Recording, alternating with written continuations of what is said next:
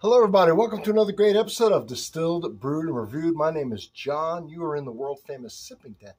And down here, I review everything that has anything to do with alcohol and everything that has anything to do with coffee.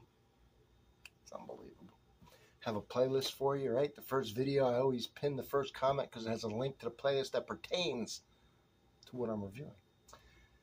In this case, these frozen pops, which I love, these alcohol infused ices, pops.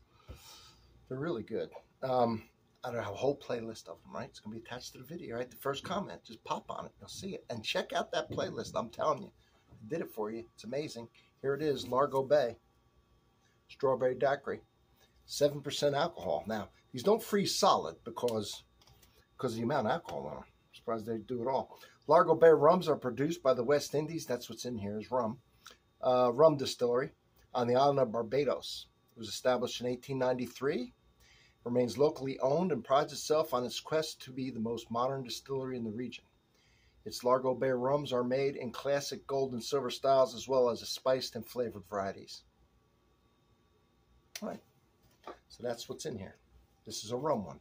I've done vodka ones. I've done tequila ones. These have 100 calories. And let's get into it. Let's get into it. They melt so fast. But they're like the ones like when you were a kid, the little ices. Mm, I love these things.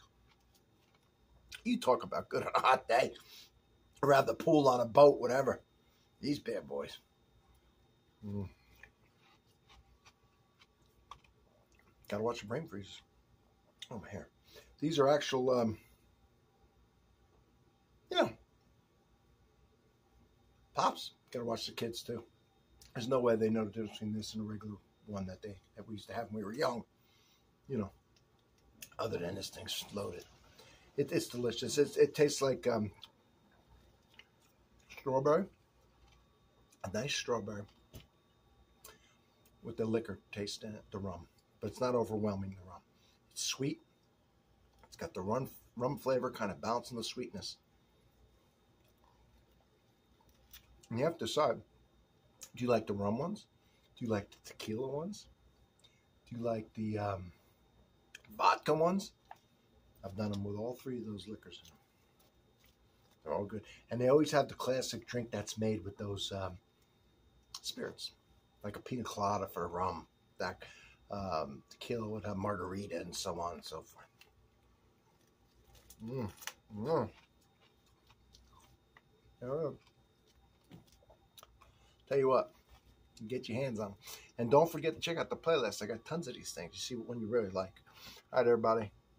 See you on the next one. Don't forget the sub now. Some